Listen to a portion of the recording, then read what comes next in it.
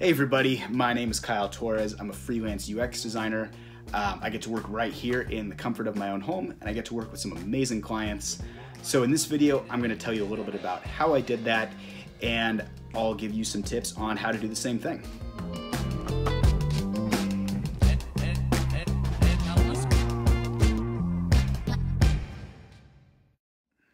So I actually haven't been a, a UX designer for a super long time.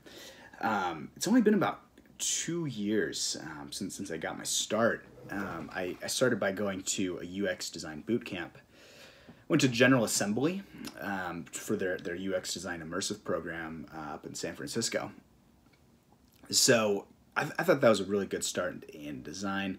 Got a, got a solid foundation for design thinking and learning more about the UX process. Um, when I graduated, I, I wasn't quite sure what I wanted to do after that.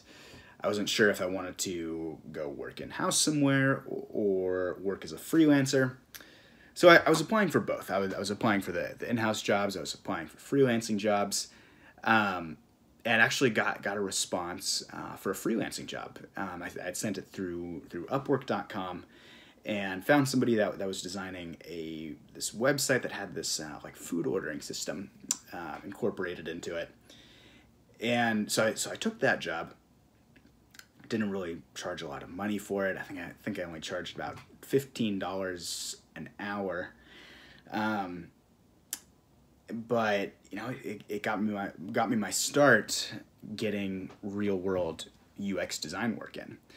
Um, I, I didn't really make history for, for how good my design was or anything, uh, but got the ball rolling. Shortly after that project ended, I talked to my friend Michael. Uh, Michael's a, a, really good software engineer and he's a really good designer too. Um, so Michael wanted to start a UX design and software development agency, and he wanted me to start it with him. So I thought that that, that was a, a tremendous opportunity. So, so took him up on it, and we started working together. We, um, we started a, an agency profile on Upwork, and so, so, started looking for some jobs. Sent out a bunch of uh, applications to jobs, and mostly got ignored, but we actually got, got one response from a really great company.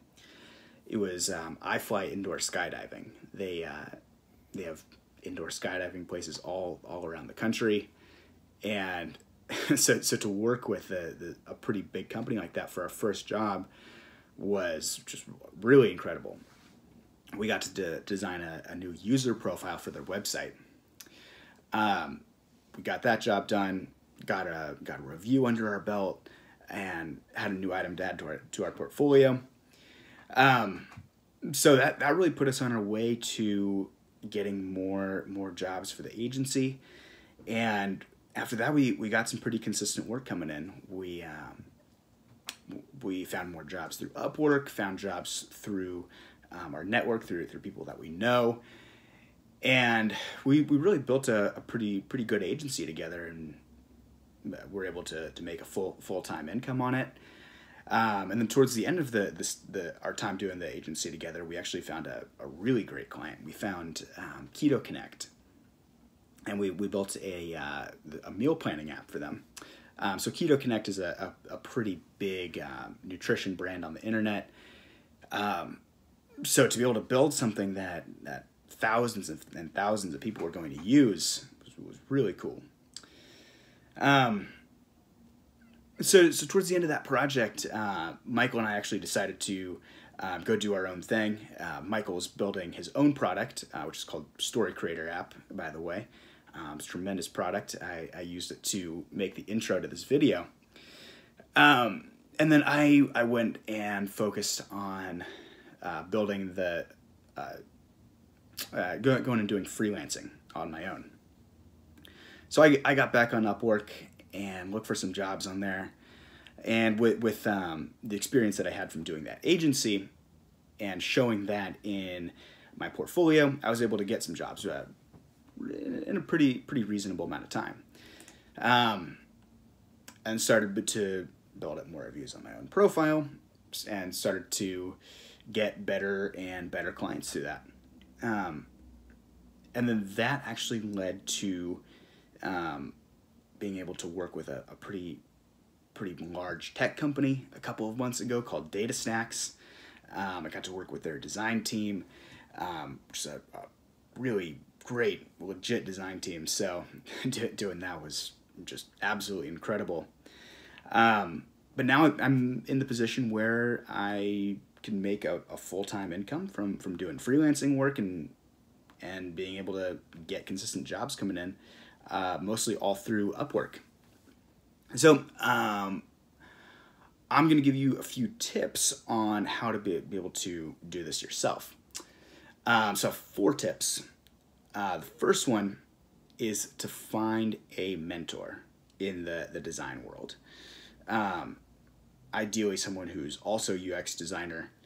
Um, I, I was lucky enough to have three great mentors. Um, I, my, my friend Michael, who I did the agency with, um, learned a tremendous amount about design through from him. Um, he's just a fantastic visual designer. Um, so I, I learned a lot about creating amazing looking UIs through, uh, through him. Um, and then also learned a lot from my friends Kanad and Mukul, who are great UX designers. Um, so having them to be able to talk to throughout the journey really helped uh, help me out. So um, I, I would recommend to, to try as hard as you can to find somebody like this if you are trying to be a freelancer.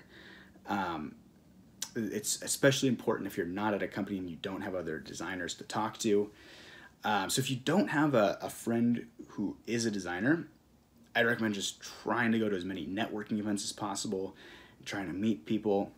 Um, there's a lot of very friendly designers out there who, who are willing to give you feedback on your work or get, give you different tips. Um, so check that out. Or if there, there's no other uh, networking events in your city, talk to people on Twitter, talk to people on Instagram. Um, there are a lot of friendly designers out there that are willing to help.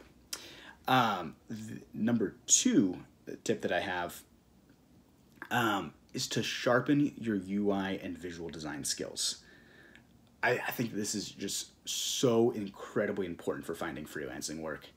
Um, I, I would say that a lot of the clients that are looking for UX design work are really looking for designers that, that can produce very, very pretty looking work also. Um, and that's going to be the first thing that they judge on uh, more often than not. Um, they, I would say a lot of them do care about the, the UX design skills, um, but having work that, that looks very pretty is going to be one of the biggest factors in being able to sell your work easily. Um, I would say that when when my UI design skills improved, um, it just became so so much easier to to find clients that wanted to work with me. Um, so to do this, I would recommend just constantly going through uh, different design courses on on visual design fundamentals, um, th things like typography, super important. Um, using color, using using spacing in your design, um, all, all of this will, will just contribute to producing great work that people will want from you. Um, and also looking at how other designers that, that are very good put their work together. Um, so like looking on, on Dribbble.com and trying to emulate what, what other people are doing will really help you out. Um, the, the third tip that I have is if you're, if you're looking for work on Upwork, start it at, at a really, really low price. Um, it's not going to get you the, the most high profile clients in the world, but it, it will get you someone who does need design help that is uh, making a, a, real real world project. It will give you experience um, working with actual clients um, by, by just being competitive on the price. Um, so I, I'd say that that will help you to get the first things in your portfolio and help you to get reviews on Upwork or whatever whatever freelancing site that you're using. Um, and then the fourth tip that I have is to just consume as much information as possible that could potentially be helpful in um, in the freelancing journey. Uh, so, for example, I, I watched a lot of videos by Chris Do. Um, he has a YouTube channel called The Futur, which is amazing. And um, learned a lot about things like pricing for for designers and different different things about like etiquette with with working with clients. All all of these things were were just super super helpful in being a designer that, that can handle working with clients um, and I, i'd say help to set me apart. So I, I would say with those four tips in mind um, that'll put you on your way to becoming a successful freelancer um, so I'm going to make more videos just like this in the future. Um, thank you for watching.